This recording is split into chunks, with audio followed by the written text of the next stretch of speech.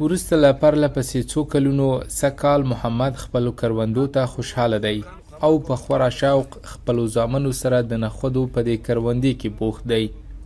سږ کال یې دوه جریبه نخود کرلي دي. وروستي ورښتونو د ده د کروندې د اوبو کمښت ستونزه حل کړې ده. وايي تمه لري چې سږ کال ښه حاصل راټول کړي. نو ډېر وختونه مو دلته کښت کړی دی. نه دی داسې سم شوی سږ کال مې نخود کرلي دي پنځه دېرش ورځې به انشاءالله کېږي نو اوس به خامخا تاسې وینئ سږ کال خدای پاک داسې وری کړي دي چې ټوله دنیا راضي ده دا کښت مو ډېر فعاله دی ښه کښتن دی نو ډېر خوشحاله دی الله پاک څخه چې داسې تربیه شوي دي محمد د کوکنارو پخوانی کروندګر هم پاتې شوی دی، وايي د کوکنارو څخه یې خیر نه دی لیدلی او بې برکته کښت یې بولي. دی د کوکنارو کروندګرو څخه غواړي چې له دې کښته دې لاس واخلي او بدیلو کښتونو ته دې مخه کړي.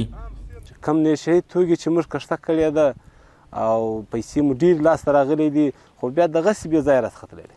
د هغو څخه موږ فایده نه دی لیدلې نو سږ کال ډیر خوشحاله یې د الله پاک څخه داسې دربې شوي دي داسې ولاړ شي په دې وطنو کې وڅرخیږي چې ورشه داسې سړی به نه وویني چې هغه تا ته ووایي چې زما کښت نو سږ کال نه دی د کار.